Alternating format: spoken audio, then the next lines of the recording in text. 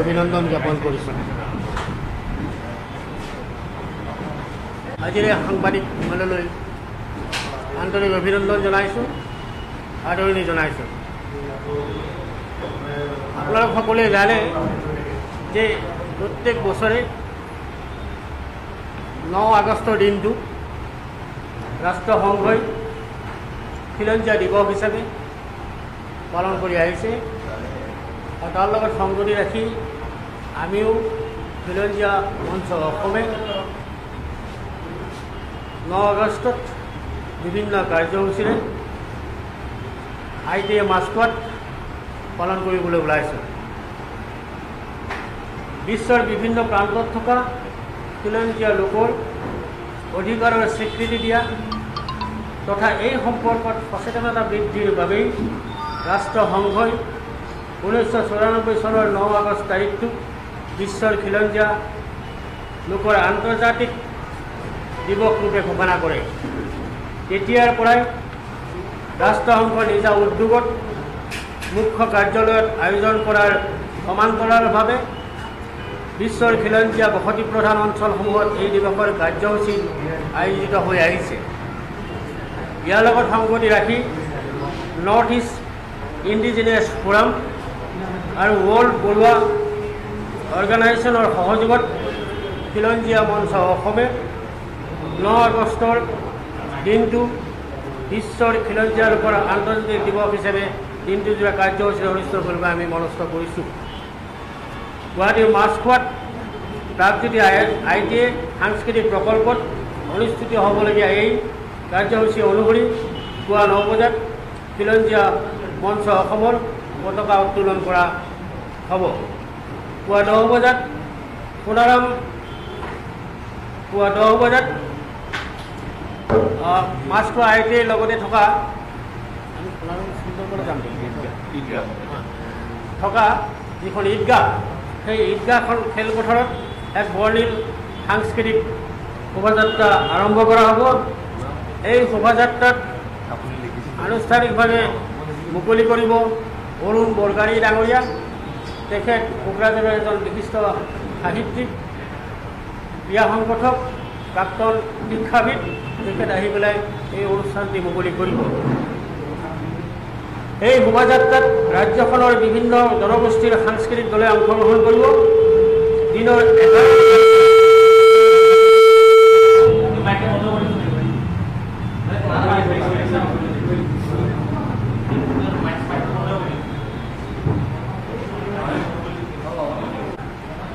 উত্তৰ পূৰ্বাঞ্চল তথা অসমৰ খিলঞ্জীয়া লোকৰ অধিকাৰ সম্ভাৱনা আৰু প্ৰত্যাহ্বান। এই শীৰ্ষক এখন আলোচনা আৰম্ভ হ'ব। অভ্যৰ্থনা সমিতিৰ সভাপতি জেবৰাৰাম মুছাহাৰীৰ মুছাহাৰীৰ উদ্দেশ্য সম্বলিত বক্তব্য আৰু অভ্যৰ্থনা সমিতিৰ সভাপতি বিবেকানন্দ চৌধুৰীৰ আদৰণি ভাষণৰ পিছতে বিশ্বৰ খিলঞ্জীয়া লোকৰ আন্তৰ্জাতিক দিৱস উপলক্ষে ৰাষ্ট্ৰসংঘৰ সচিব প্ৰধানে প্ৰদান কৰা অভিবাদন পাঠ কৰিব বন্যা বৰুৱাই। সভাত নিৰ্দিষ্ট বক্তাৰূপে Naga people's movement for human ৰাইটছৰ সচিব প্ৰধান নিংলু ক্ৰমে। মণিপুৰৰ মানৱ অধিকাৰ কৰ্মী ডক্টৰ নংথম বাম জিতেন মেঘালয়ৰ মাৰ্কু মিত্ৰী আৰু গুৱাহাটী বিশ্ববিদ্যালয়ৰ অধ্যাপক ভূপেন ৰাভা আকাশামে অংশগ্ৰহণ কৰিব। দিৱস উপলক্ষে প্ৰকাশ কৰিবলগীয়া যিখন স্মৰণিকা উন্মোচন কৰিব আমাৰ খিলঞ্জীয়া মঞ্চৰ অসমৰ মুখ্য আহ্বায়ক শ্ৰীযুত অনুপ চেতিয়া ডাঙৰীয়াই। এই দিৱসৰ সকলো কাৰ্যসূচী সুচাৰুৰূপে ৰূপায়ণ কৰিবলৈ জেব্ৰাৰাম মুছাহাৰীক সভাপতি বিবেকানন্দ চৌধুৰীক কাৰ্যকৰী সভাপতি মৃণাল হাজৰিকা নয়ন কুমাৰ বৰুৱাক যুটীয়া সম্পাদক হিচাপে লৈ এখনি শক্তিশালী অভ্যৰ্থনা সমিতি আৰু কেইবাখনো উপ সমিতি আমি ইতিমধ্যে গঠন কৰিছোঁ। উক্ত দিৱসৰ আৰু আমাৰ কেইবাজনো এডভাইচাৰ আছে তাৰ ভিতৰত তেখেতক গোটেইবিলাক আজি অহা নাই যদি আমাৰ লাচিত বৰদলৈদেৱ তেখেতে আমাৰ এই অভ্যৰ্থনা সমিতিৰ এজন উপদেষ্টা হিচাপে আজি উপস্থিত আছে। উক্ত দিৱসৰ সকলো কাৰ্যসূচীতে ৰাজ্যখনৰ সমূহ খিলঞ্জীয়া লোক তথা জাতীয় সংগঠন আৰু ৰাইজক অংশগ্ৰহণ কৰিবলৈ আয়োজক তথা অভ্যৰ্থনা সমিতিৰ তৰফৰ পৰা আমি অনুৰোধ জনালোঁ। আৰু এতিয়া মই আমাৰ মুখ্য আহ্বায়ক শ্ৰী অনুপ চেতিয়া ডাঙৰীয়াক দুআষাৰ বক্তব্য ৰাখিবলৈ অনুৰোধ কৰিছোঁ।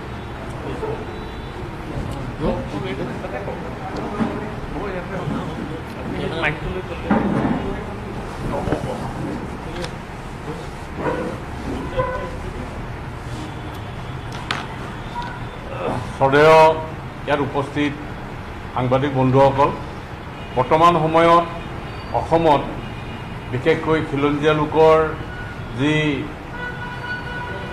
অস্তিত্ব লৈ আমি চিন্তিত হৈ পৰিছোঁ এই সময়ত খিলঞ্জীয়া মঞ্চ অসমে অসমৰ খিলঞ্জীয়া জাতি জনগোষ্ঠীসমূহৰ স্বাৰ্থ ৰক্ষাৰ বাবে সদায় চিন্তা কৰি মাত মাতি আহিছে। আৰু আমি খিলঞ্জীয়া মঞ্চ অসম গঠন কৰা বৰ বেছি এটা দিন হোৱা নাই। যোৱা বছৰ আমি গঠন কৰিছিলোঁ আৰু এই গঠনৰ পিছতেই আমি খিলঞ্জীয়া স্বাৰ্থত যিমানখিনি পাৰোঁ মাত মাতি যোৱাৰ চেষ্টা কৰিছোঁ। আৰু এই প্ৰথমবাৰৰ বাবে আমি বিশ্ব খিলঞ্জীয়া জনগণৰ আন্তৰ্জাতিক দিৱস উদযাপনৰ বাবে প্ৰয়াস কৰিছোঁ আৰু ইয়াত আপোনালোকৰ আটাইৰে সহায় সহযোগিতা আমি কামনা কৰিছোঁ। খিলঞ্জীয়া মঞ্চ অসমে খিলঞ্জীয়া জনগণৰ অস্তিত্ব যাতে অসমত বিলুপ্ত নহয় আমি যাতে নিজৰ জন্মভূমিত সাহস আৰু উদ্যমেৰে যাতে জাতিটোৰ অস্তিত্ব ভাষা সংস্কৃতি সকলোখিনি ধৰি ৰাখিব পাৰোঁ। আমাৰ ভাষা ইতিমধ্যেই অসমৰ কেইখনমান জিলাত প্ৰায় ন এঘাৰখন জিলাত আমি সংখ্যালঘুত পৰিণত হৈছোঁ। ইয়াৰ পৰা উত্তৰণৰ বাবে আমি যিসমূহ জাতীয় সংগঠনে ভাষা সংস্কৃতি ৰক্ষা কৰাৰ বাবে সংগ্ৰাম কৰি আহিছে তেওঁলোকৰ লগ তেওঁলোকৰ সহযোগিতাত আমাৰ অসমৰ ভাষা সংস্কৃতি সকলোবিলাক ৰক্ষা কৰাত কাম কৰি যাব বুলি আমি দৃঢ় প্ৰতিজ্ঞ। আৰু এই ক্ষেত্ৰত যাতে আগন্তুক ন আগষ্ট বিশ্ব খিলঞ্জীয়া জনগণৰ আন্তৰ্জাতিক দিৱস যি অনুষ্ঠিত হ'ব তাত আপোনালোকৰ আটাইৰে সহায় সহযোগিতা কামনা কৰিছোঁ ধন্যবাদ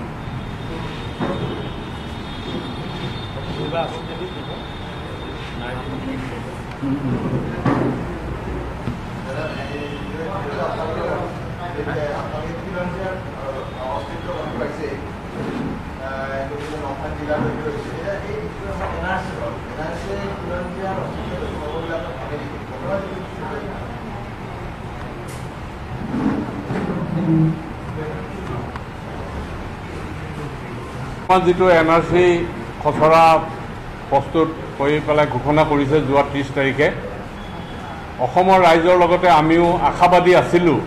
কিন্তু বৰ্তমান যিটো পৰিস্থিতি আমি প্ৰত্যক্ষ কৰিছোঁ যে খিলঞ্জীয়াৰ স্বাৰ্থ সম্পূৰ্ণ সুৰক্ষিত হ'ব বুলি এই এন আৰ চিৰ জৰিয়তে আমি যিদৰে পূৰ্বে আশা কৰিছিলোঁ বা প্ৰত্যাশা কৰি পেলাই আছিলোঁ ঠিক তেনেদৰে হ'ব বুলি আমি এতিয়া সন্দেহৰ এটা অৱকাশ থাকি গৈছে। গতিকে আজি শেহতীয়াকৈ আমি শুনিবলৈ পাইছোঁ যে যিসকল অবৈধ নাগৰিক আছে ইতিমধ্যে অন্তৰ্ভুক্ত হৈছে বহুতো অবৈধ প্ৰক্ৰিয়াৰো অন্তৰ্ভুক্ত হৈছে বুলি আমি শুনিছোঁ।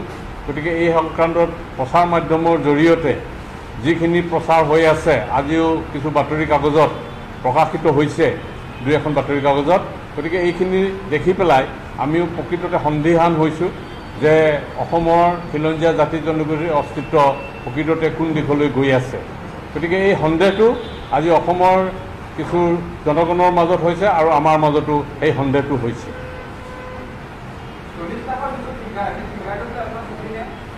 চল্লিছ লাখৰ ফিগাৰৰ ভিতৰত বহু খিলঞ্জীয়া লোকো তাত অন্তৰ্ভুক্ত হোৱা নাই বাকী ৰৈ গৈছে। তাৰ ভিতৰতে বহু ভাৰতীয় নাগৰিকৰ নামো বাদ পৰি গৈছে। বহু প্ৰচাৰ মাধ্যমৰ জৰিয়তে আমি যিখিনি জানিবলৈ পাইছোঁ যে যিসকলক ইতিমধ্যে ট্ৰাইব্যুনেলে খিলঞ্জীয়া হিচাপে কি অবৈধ নাগৰিক হিচাপে ঘোষণা কৰিছে তেনে লোকো ইয়াত অন্তৰ্ভুক্ত হৈ পৰিছে।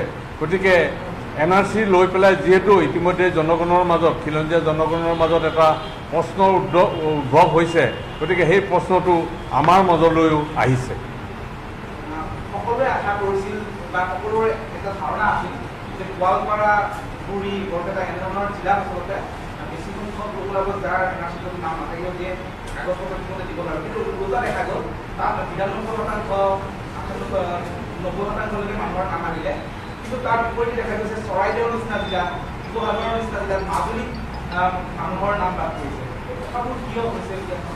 তাৰমানে কথা হ'লকে কি আমি যিসকলক সন্দেহযুক্ত নাগৰিক বুলি ভাবি আছিলোঁ তেওঁলোকে কিন্তু ইতিমধ্যেই তেওঁলোকৰ যিখিনি প্ৰয়োজনীয় দল- কাগজ পত্ৰ ইতিমধ্যে তেওঁলোকে কিন্তু মানে প্ৰস্তুত কৰি পেলাই তেওঁলোকে গোটেইখিনি সমল তেওঁলোকে গোটাই লৈ পেলাই তেওঁলোকে প্ৰস্তুত হৈ আছে।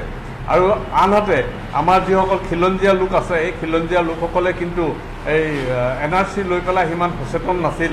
আমাৰ খিলঞ্জীয়া বহু লোকৰেই বহু নথি পত্ৰ নাই বহু খিলঞ্জীয়া লোকৰেই আনকি মাটিৰ পত্ৰাখনো নাই। গতিকে তেওঁলোকে নিৰ্দিষ্ট সময়ত যিবিলাক তথ্য দাঙি ধৰি উত্থাপন কৰিবলগীয়া আছিল সেই তথ্যবিলাক দিব পৰা নাই বা বহুতেই অৱহেলা বশতঃ তেওঁলোকে এন আৰ চি কাৰ্যালয়লৈ পঞ্জ- পঞ্জীভূত কৰাৰ কাৰণে সম মানে যোৱা নাই। গতিকে সেইটো কাৰণে অসচেতনতাৰ ফলত আমাৰ এই আজি মাজুলীৰ দৰে স্থানীয় যে য'ত মানে অধিক সংখ্যক খিলঞ্জীয়া লোকৰেই বসবাস তাতে আমি মানে এন আৰ চিৰ পৰা নাম বাদ পৰি গৈছে আৰু তাৰ তুলনাত গোৱালপাৰা যিসকলক আমি সন্দেহযুক্ত বুলি ভাবোঁ। সেই জিলাকেইখনত মানে মানে বাদ পৰাৰ পৰিসংখ্যাটো কম হৈছে। হ'ব ন? ঠিক আছে ধন্যবাদ। আমি আশা কৰোঁ ন আগষ্টৰ যিখিনি আমাৰ কাৰ্যসূচী এই সকলোখিনি কাৰ্য কিবা কওঁ NSCসমূহৰ ভিতৰত যিদৰে কথা ওলাই আছে যে অখিলঞ্জীয়া লোকসকল সৰ্বৰ্ণ হোৱাৰ বাবে বহুতো খিলঞ্জীয়া লোকৰ বাদ নাম কৰি আমি সন্দেহযুক্ত বাংলাদেশী নামবিলাক ইনক্লুড হৈছে এই এই বহুতো বিধায়ক প্ৰকাশ কৰিছে বিজেপিৰ ষ্টেটমেণ্ট ইয়াত কৰিছে। আপোনালোকৰ এই ক্ষেত্ৰত খিলঞ্জীয়া মঞ্চৰ আমি আমাৰ খিলঞ্জীয়া মস্ত মঞ্চৰ স্পষ্ট মত হ'ল এখন শুদ্ধ এন আৰ চি প্ৰস্তুত হোৱা উচিত আৰু যদি তাত যিসকল সন্দেহযুক্ত নাগৰিক অন্তৰ্ভুক্ত হৈছে তেওঁলোকৰ ওপৰত বিধিগত ব্যৱস্থা কৰি চৰকাৰে সেইখিনি ব্যৱস্থা গ্ৰহণ কৰক। তেওঁলোকক যাতে এই তালিকাৰ পৰা এন আৰ চিৰ পৰা বাদ পৰাৰ ব্যৱস্থা কৰে সেইখিনি ব্যৱস্থা কৰিবৰ কাৰণে আমাৰ চৰকাৰৰ ওচৰত দাবী থাকিব। আৰু এই ক্ষেত্ৰত চৰকাৰক যদি মানে আজি এটা প্ৰশ্ন উত্থাপিত হৈছে যে আই এম ডি টি আইনৰ দৰে যে দাবী উত্থাপনৰ এটা প্ৰশ্ন আহি পৰিছে বুলি আজি প্ৰচাৰ মাধ্যমত দেখিছোঁ। আৰু এই ক্ষেত্ৰত আমি মানে খিলঞ্জীয়া মঞ্চ অসমৰ তৰফৰ পৰা চৰকাৰক পূৰ্ণ সহযোগিতা আগবঢ়াম আৰু যদি তাত আপত্তি কৰিবলগীয়া হয় বা কি কৰিবলগীয়া হয় সেইখিনি যদি চৰকাৰে আমাক নিৰ্দিষ্টকৈ দাঙি ধৰে তেতিয়া সেই সেই ক্ষেত্ৰত আমি চৰকাৰৰ সহযোগিতা কৰিবলৈ প্ৰস্তুত আছোঁ।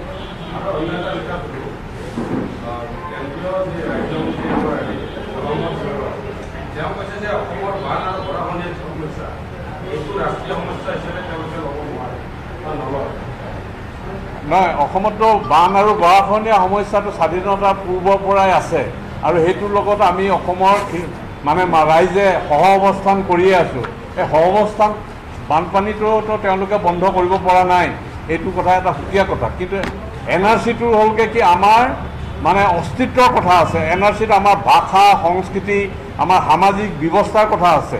গতিকে ইয়াত য'ত আমাৰ অস্তিত্ব নিঃশেষ হৈ যাব তাত বানপানী হ'লে বা ভূমিকম্প হ'লে তালৈ পেলাই আমি চিন্তিত নহয়। যিহেতু আমাৰ অস্তিত্ব ইয়াত বিপন্ন হোৱা হোৱাৰ সম্পূৰ্ণ আশংকা আছে। গতিকে এন আৰ চিখনেই আমাৰ কাৰণে খিলঞ্জীয়া ৰাইজৰ কাৰণে এটা প্ৰধান জাতীয় সমস্যা। আমি আশা কৰোঁ অহা ন আগষ্টৰ যি আমাৰ কাৰ্যসূচী সকলোখিনি কাৰ্যসূচীতে আপোনালোকৰ সহযোগিতা বিচাৰিছোঁ আপোনালোকৰ অংশগ্ৰহণ বিচাৰিছোঁ। আৰু ৰাইজক আমি যে খিলঞ্জীয়া মঞ্চৰ তৰফৰ পৰা খিলঞ্জীয়া দিৱস পালন কৰিব ওলাইছোঁ এইখিনি অৱগত কৰিব বুলি আশা কৰি আপোনালোক পুনৰবাৰ ধন্যবাদ জ্ঞাপন কৰি আজিৰ এই সংবাদমেল ইমানতে সামৰিছোঁ। ধন্যবাদ।